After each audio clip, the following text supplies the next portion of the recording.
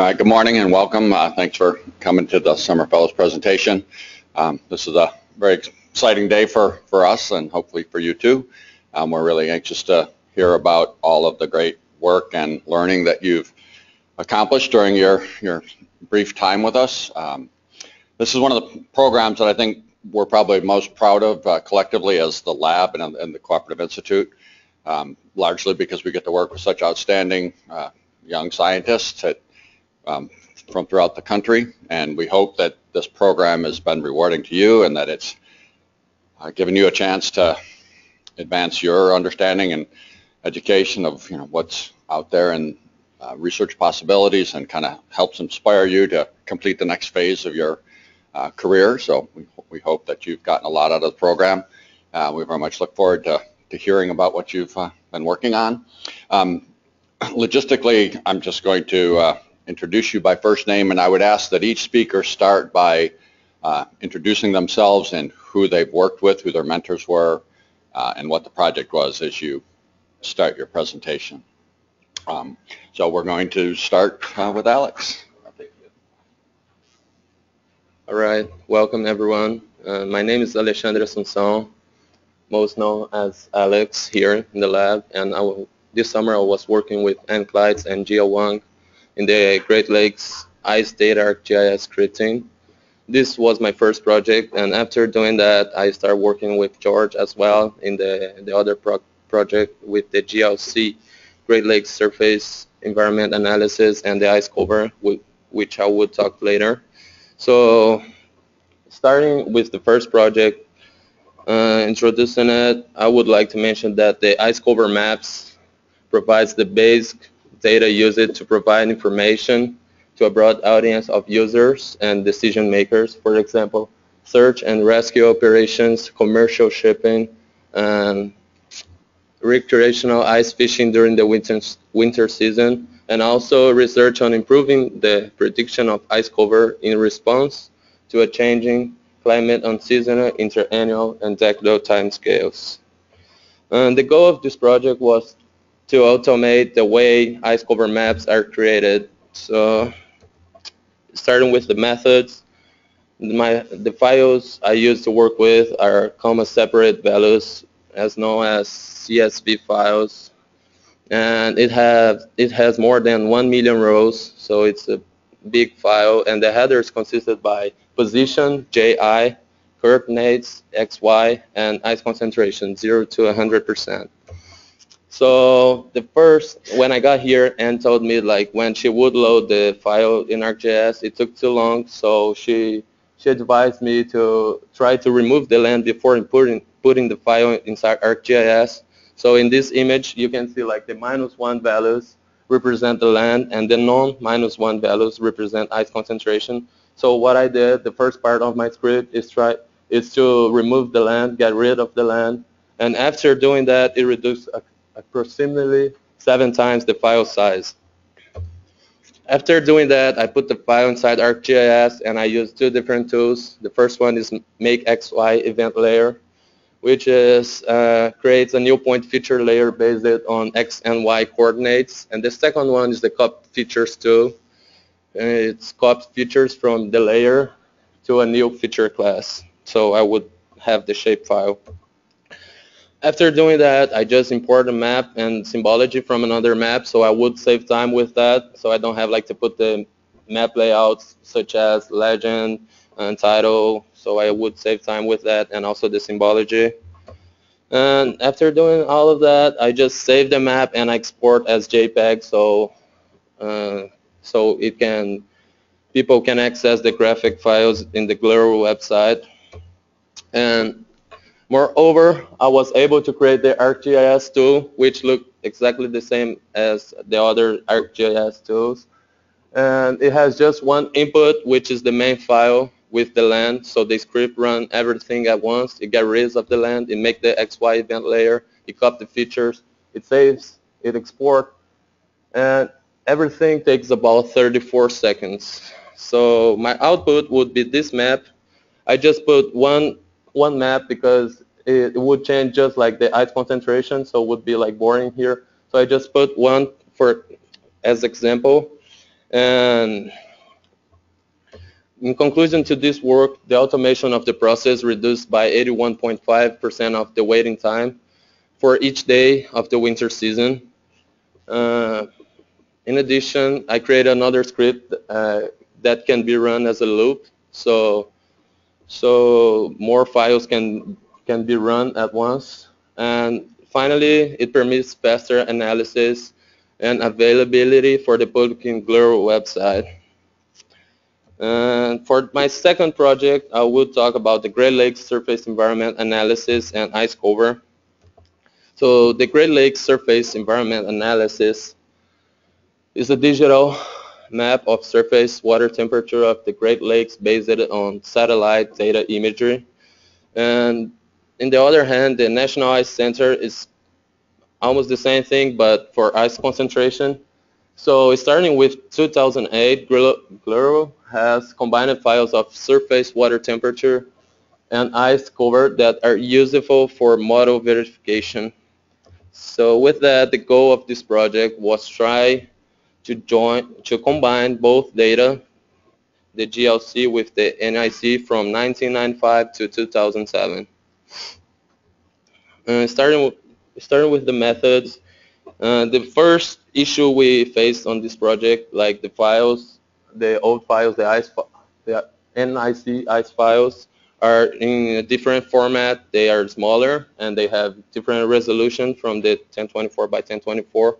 So we had to convert them to the original file size. And I put this image because looking from here, you you can say like the lakes look look similar, they look alike. But when you zoom to it, to a, a specific area, let's say for Lake Superior area, you can see like tiny difference between them from the NIC old file with a new one, nowadays one. So what I'm saying, in any way you try to convert the file, rescale the file, resample the file, you would have problem like with the coastlines, with those those pixels that wouldn't match. And the same thing happens to the GLSEA file, so they differ. So that that's a problem that I would be talking later. For now, I'll talk about the process that I did. The first tool I used in ArcGIS was the rescale tool. How I determined that those numbers, the x and y scale factors, I had a guess, which is this image. This the smaller one is the 516 by 510 and the bigger one is the 1024 by 1024. So I I I just realized like if I match the corners, the the legs should match, but it actually didn't work very well because I was getting a lot of land values inside the water. So I just started guessing values until I got until I got the lowest amount of land values inside the water. And after doing that, I used the resample tool to to make the files with the same resolution, which is 1800, and the resample, resampling technique I used was nearness, nearness, nearest neighbor. Uh, after doing that, so I was interested about the lake, so I used the GLSEA mask to extract the values that are inside inside the lakes. And I had the coastline issues that I, as I mentioned previously. So in this slide, you can see the the red the red values represent land values that are falling inside the water. So it, it was about 2,000 values. Uh, so we had to fix it.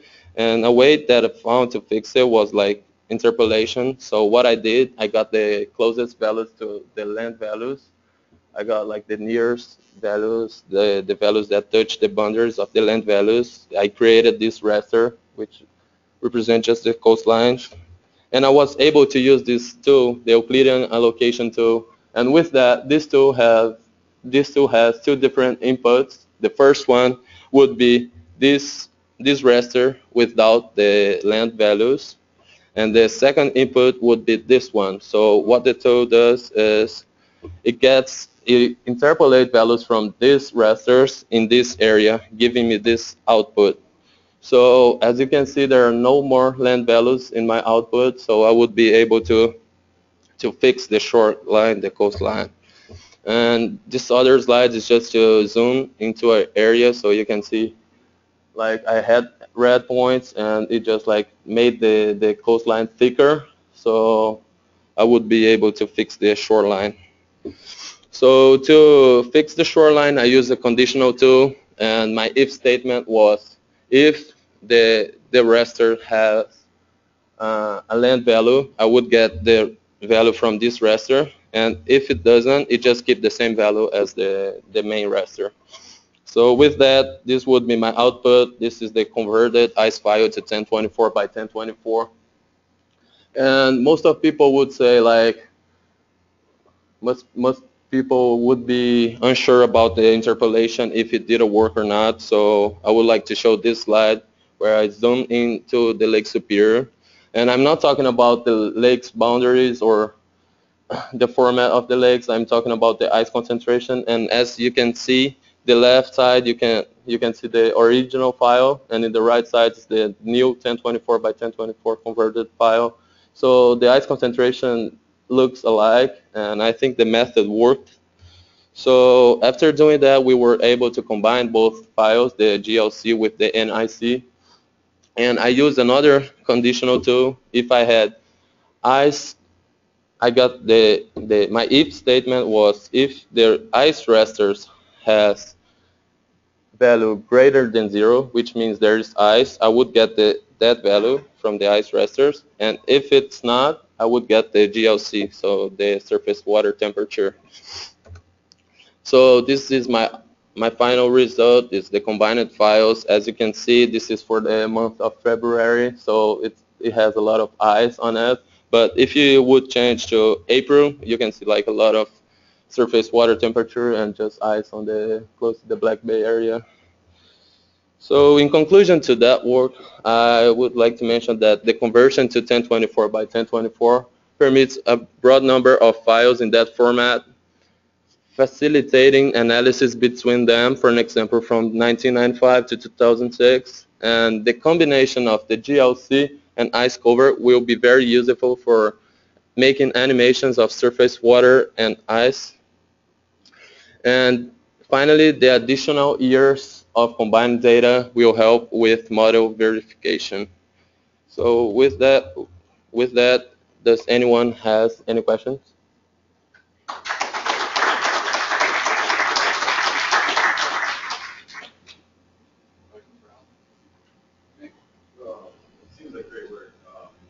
Thank you. Okay. Um, it seemed like the interpolation, when you zoomed in, it seemed like the interpolation to the bigger file size was, was great. I was just wondering, did you choose the, you said nearest neighbor method? Yeah.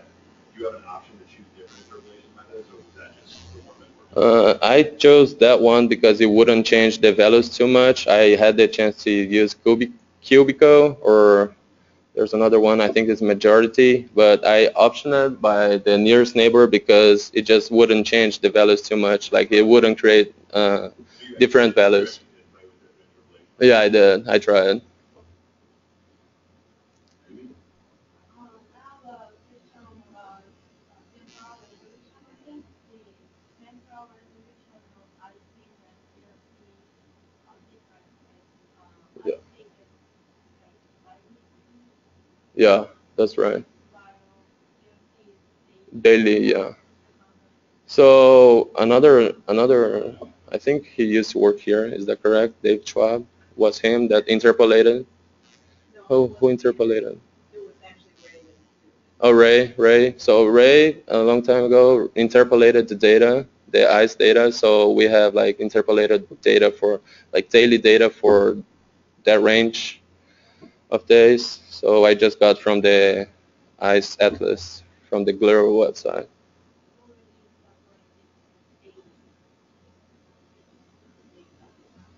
What'd you say? It Yeah, it was. It was already interpolated. Yeah, it was already daily. I assume that same process of how to do it, 20 2008 forward record, daily interpretation. Uh, actually, Lacey makes it, you invented interpolation starting in 2006. Um, starting in 2011, we get a daily project, so we interpolate. Any other questions? Is that it? All right. I would, I would like to thank everybody, and hopefully my folks are watching to this, so I just would like to say I love you guys, and thank you. Thanks, everyone.